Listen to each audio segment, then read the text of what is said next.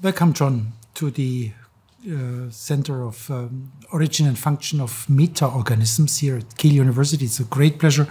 We had you here about seven years ago, June 21st, 2016. It was a great pleasure. It was the, the opening uh, symposium of our um, DFG Research Center. So great that you are back. Things have changed or have moved in seven years. And uh, you are the director of the Institute of Comparative Genomics at uh, Dalhousie University in Halifax, major uh, researcher, scholar in the field of uh, cellular evolution, of genome evolution, uh, technology uh, development in these aspects. Um, it's an honor that you are here. And um, before we may start to talk about more science, but um, how did you get? You are a protistologist. Uh, you try to understand the evolution of a cell, which is very complex. Um, how did you get into that field? How did who draw you into this? Uh, it's very specific and it's very specialized field. But how did you get there? Yeah, it's a good question. I, you know, the first book I recall ever reading about science had nothing to do with microbes. It was a book called Lucy it was about mm-hmm. Australopithecus, so early human evolution. And I think it was somehow reading that book that kind of gave me the idea that this was something that I was drawn to. And when that, I was that was at the age of what? oh gosh, I was a teenager. Uh, mm-hmm. I couldn't tell cool. you. I still have a copy of the book. Uh-huh. I can't tell you what year it was, but yeah. I was sort of a yeah. Somehow transitioning from high school to to university. But yeah. um, you know, studied biology in university, and that led me to study mitochondrial DNA mm-hmm. for an honors project, so a fourth year mm-hmm. research project. And I think I just stumbled into that position. I mm-hmm. was knocking on doors, I wanted a, a summer job doing research, and this person was working on mm-hmm. uh, mollusks, on mussels, mitochondrial DNA, mm-hmm. and that. Mm-hmm got in, got me interested in organelles, uh, and then really when it came time to find a lab for graduate school, that led me to the lab of someone named Ford Doolittle, who was a mentor mm-hmm. of mine, mm-hmm. and generated some of the first, you know, DNA sequence data. Proving the endosymbiont hypothesis mm-hmm. for the where mitochondria come mm-hmm. from. So that's kind of how I got into cell biology, evolution, and really got passionate about you know genomes and DNA as sort of trackers of evolutionary mm-hmm. history. Mm-hmm. Wow, very interesting. So the the functioning of mitochondria, and then asking the question, where do they come from? Yes. And uh, so, yeah, how does the cell evolve? That's exactly right. Yeah. Um, thinking back at the last time you've been here, seven years, um, you're director of a, a, research center on genome evolution, uh, cellular evolution. Um, I think technologically a lot has changed, or uh, I mean, we have now much better um, technologies and, and tools to dissect the question you obviously were interested in since since childhood. Um, is that true also for your field? Oh, absolutely. You know, you mentioned technology. So, DNA sequencing is really a central element um, of the research that goes on in my lab. Um, Can you explain us a bit in a, yeah. in a few sentences uh, why why that's the, so important. the sequencing technology is so important, what you can learn, yeah. Uh, which, what you couldn't learn before. Yeah, I mean, DNA is the, is the the uh, hereditary material of life. It's chemically rather simple, but the amount of information that can be stored, biological information, is immense. And so a DNA sequence is the string of these four chemical letters, A, C, G, and T. And uh, genomes are, are very large. They store lots of information, and embedded within the genome is, is the genes. And that's, again, it uh, the DNA sequences store information. We can compare the genes from one species to the next. Now, why, do, why do I need to know that to understand the evolution of the cell? Yeah. Well, I mean, there are evolution before the molecular evolution. Of course, people were studying evolution using you know morphology and so forth. So for macroscopic organisms, you could compare uh, what the wings of butterflies looked like and compare them across species. So, morphology is one obvious way of doing that. I think molecular sequencing really changed everything insofar as if you're interested in microbes like I am, well, obviously they're microscopic by definition, but there's a lot of uh, interesting biology there that can be coaxed out of the, the DNA sequences that really uh, is really hard to get at. Uh, and so it's it's opened up a you know an entirely new world, the the microbiome, the diversity of microorganisms on life, and DNA sequencing is a big part of that. Yeah. Uh, th thinking beyond the sequencing per se, if I look in your institute, you have a very different uh, experts there. I mean, isn't that also a challenge that are bringing together people from different disciplines? It certainly is. I would say, you know, modern genomics being based on DNA sequencing, it generates a lot of information, and that information is stored on computers. So, one of the challenges and opportunities there is to bring together biologists and people who study you know, molecular biology. They're interested in questions to do with organismal diversity, for example, with computer science. Uh, and, and, you know mathematicians, statisticians, sort of the data people here, and I think there's a very rich, fertile ground at the interface between biology and informatics, mm-hmm. and you know genomics has really exploded, and more and more it, it involves really people who have strengths in both of those areas because they, they're inadequate in isolation. Yeah, but they also need, I think, a third category, and this is also what you are in person. I mean, they need a real biologist or a protistologist who knows some weird cells living in some weird environments. And uh, um, without that, I mean, you, you know, from whom to sequence, from whom you take the, the, DNA and do the sequencing, and not to speak about the, the, the bioinformatics. How do you manage to bring these all together? A and B, um, is that already incorporated in some teaching programs? Then this interdisciplinarity. Yes, absolutely. You know the earlier I mentioned the sort of morphology. Well, you know, with, with proper modern microscopes, there is a there is a morphology at the level of individual cells, which is mm-hmm. uh, you know, historically, I would say, underappreciated, but but also very a very rich history scientifically. The field of protistology, so studying eukaryotic microbes, single celled organisms that are not bacteria but are their own entities. And of course, the world is full of these.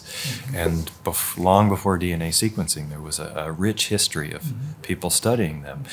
It's a bit of a lost art, I would say. And our institute at Dalhousie, we're fortunate to have people who are trained classically in protistology. Mm-hmm. They can recognize uh, organisms of interest when they see them. And as you say, they're, they're, uh, it, it, takes special training. And it's, I'd like to think that we're trying to carry on that legacy and bring it back and, and teach young students that, hey, there's this exciting you know, microbial world there. It's morphology, it's uh, ecology, uh, it's all of these things. We can use DNA technologies to augment our understanding, but it certainly doesn't replace, mm-hmm. you know, the biology and, and, the knowledge that comes from that. Mm-hmm.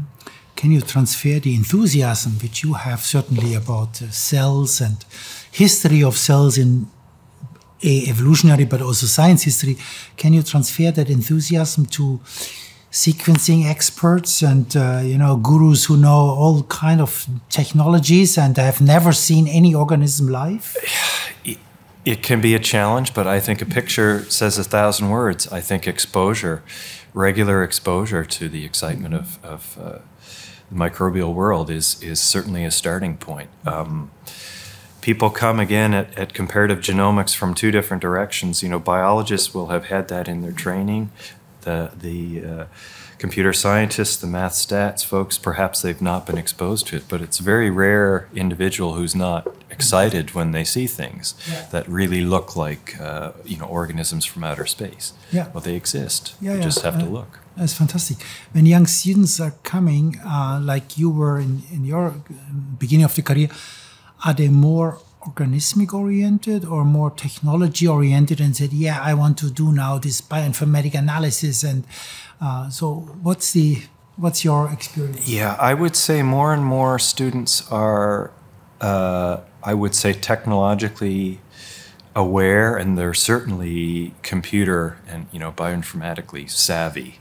You know, I think just it's a different era now, students coming up than, than when I was was an undergraduate. But um, I wouldn't say that they're opposed to you know being exposed to the excitement of that that biology in the hidden microbial realm, as I as I call it. It's it's just exposure.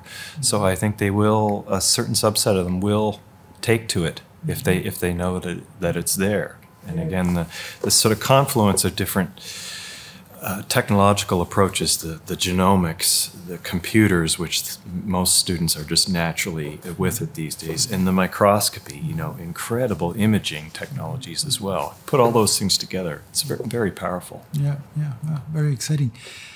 Uh, spending a, a, minute on the organisms you're working on, um, I assume that technological progress also allows now to study organisms and cells, which were very hard to to uh, to um, examine and investigate in depth um, previously. Brings me to this uh, in in, in um, our community here. We always talk about model organisms and non-model organisms and uh, non-model model organisms and you know all these things. And I think technological progress has made it unnecessary anymore to talk about that because I think uh, you, if you find something interesting out in, in a river or in the sea, probably you can make it to a model of your question. Is, would you agree? I, yeah, I would agree 100%. Um, you know, we're, we're kind of in this realm of single cell biology. I mean, there's cell biology, which is a thing, but single cell biology, that is the ability quite literally to study the biology of single cells uh, with sophisticated technologies, and, and, that's single cell sequencing. So, quite literally plucking a single organism and being able to sequence its genome mm-hmm. or its transcriptome, so the express genes. Mm-hmm. You can do sophisticated imaging on single cells, mm-hmm. uh, and this was never possible. Uh, you know, in, in years and decades past, mm-hmm. and it means you don't need to be able to culture the organism in the lab. And uh, the model organism, well, I mean, that's a term that uh, has been around a long time. There's no substitute for the power that comes along with organisms that have been studied for many years, the ability to genetically, you know, manipulate them, examine them in controlled environments, but increasingly that I would say the the length of time between new organism from nature and having the, the substrate for a, a proper model organism in the traditional sense, I think that gap has uh, yeah. shrunk dramatically, and it's yeah. primarily yeah. technology driven. Yeah, that's uh, in in retrospect, and I think it's just really wonderful that we we are not you know we are not stuck to the mouse and to Drosophila and to C. elegans but we now can really exploit the richness of nature um, with some restrictions. I agree. Uh, genetic engineering and is not will not be possible in, in all cells we, we have. But yeah, it's, it's, yeah terrific and very very exciting. Really exciting times, I guess, also for the younger generation. Uh, because they have now all that. You know, you started your career, I started my career. I mean, we were very I, I, probably I didn't know that the cells have DNA when I you know when I entered university or something like that. But life has changed. Um, let's change topic a bit and think about the younger generation. I mean, what does it need for a young, enthusiastic student um, to be successful in, in academic research? It's a changing landscape, I would say, that is a question I think, you know, as, as group leaders, we get more and more, you know, perhaps fewer academic jobs. I mean, it varies around the world and, and so forth. But in general, I would say having alternate career paths to traditional academia is something that is always good advice to give people. it, it may be because ultimately someone might decide that traditional academic career is not what they want, but they're, it, they can be exposed to other things like science writing, you know, journalism, biotech. It really depends on the sort of person. But for anyone really entertaining, uh, you know, uh, an academic career, I think th there's two things I would say. One is don't um, don't be afraid to change your mind and shift directions.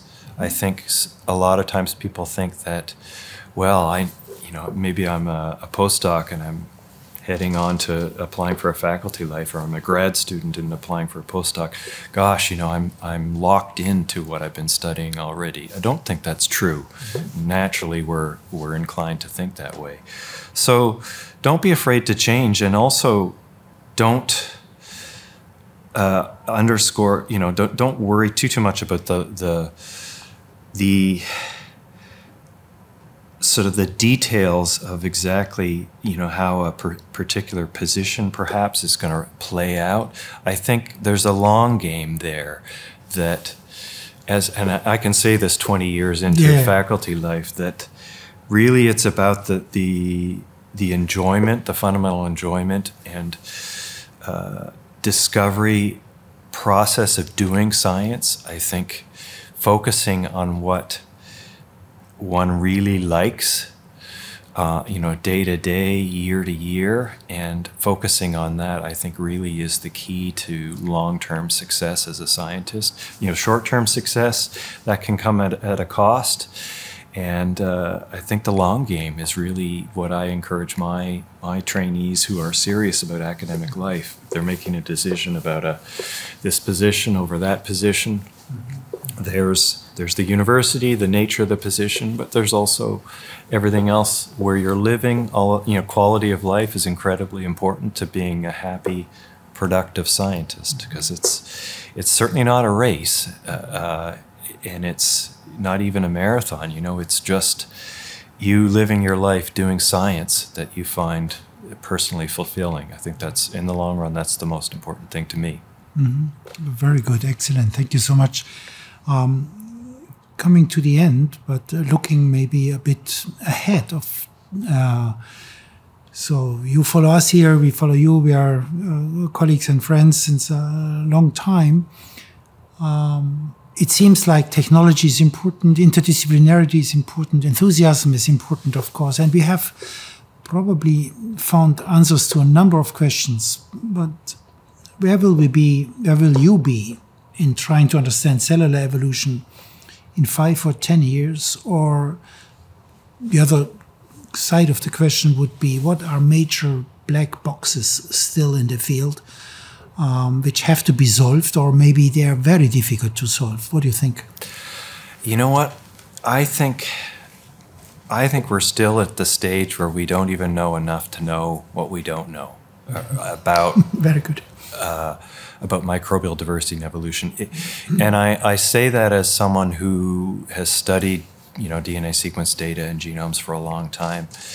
Um, there, there is no sense in which the rate of discovery is slowing down when it comes to the microbial realm. Um, you know, the ocean is one area that we focused on a lot, but you know, pick an environment, soil, uh, you know, you, you, name it, there are habitats that are very, very poorly um, explored.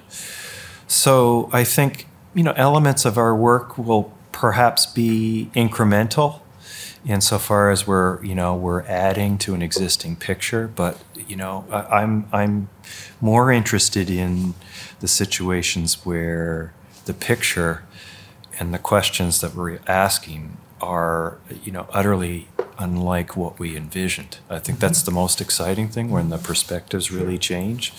And I've seen that sort of over and over again, I guess, in my own field with discovery. So, you know, 2016, you said we, we met last. Um, and I think of the stuff we're working on right now, uh, research questions. I mean, essentially, very little of that is is uh, that we're, we're continuing on exactly along those lines. Some some things are nearing conclusion, but it's a lot of brand new stuff, which is the most exciting part. So I don't I don't know where we'd be in five or ten years, and that's part of what I enjoy about it.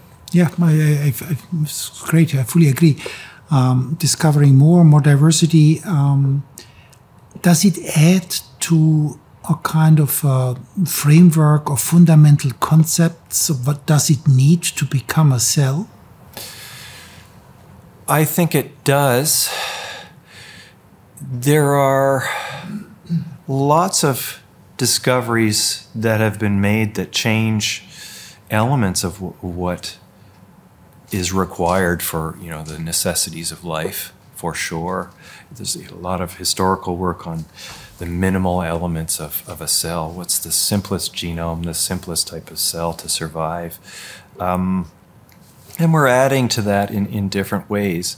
But again, I think it's also these changing perspectives. We might have some sense in which, you know, we have a minimal set of genes that are necessary for basic life. But it never ceases to amaze me, you know, in a new environment, a new uh, situation, new symbiotic association between organisms, the diversity of ways that organisms can get by in those in those environments. You wrote a very nice book uh, some years ago. I think actually the, the German the German opening lecture of that book was here in Kiel. Uh, one plus one equals one, and uh, when I understand you now, does it mean that there are many ways to make the one? Um, is that what you what yes, you say?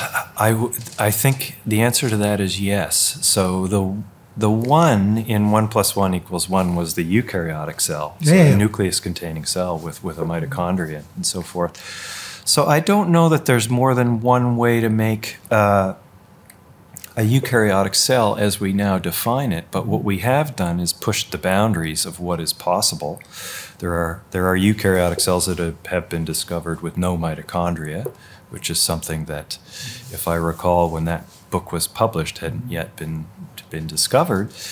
Um, and I would say it's it's one plus one plus one plus one, uh, and on it goes equals one. You know, I, I think there are there are new elements to the sort of realm of symbiosis that I think are more and more coming into focus and need to be accounted for. I would say the viruses are one of those things that even five years ago was perhaps not really on my radar. But as someone who studies genome sequences, you simply cannot ignore uh, the viral contributions. Uh, and this is nothing new to, to virologists. Uh, microbial ecologists know that viruses play incredible roles in population control and you know all sorts of things. Um, but really, for me, as someone who spent a lot of time thinking about symbiotic theory, I now would work the viruses explicitly into the model of, of symbioses because they're very clearly plugged into the, the tree of life in ways that we didn't appreciate. Mm-hmm that's a very uh, exciting view into the future, I think. And thank you so much, John, for coming. Very much looking forward to the lecture, and it's a pleasure and an honor to have you here. Thank you. Thank you for having me, Thomas.